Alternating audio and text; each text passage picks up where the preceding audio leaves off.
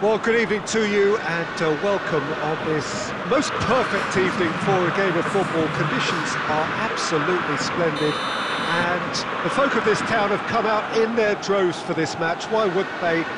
It is an ideal circumstance for what could be an ideal game.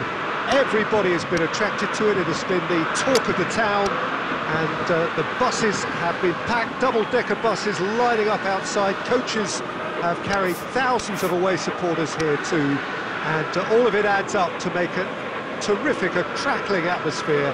The match, I think, will be quite a spectacle.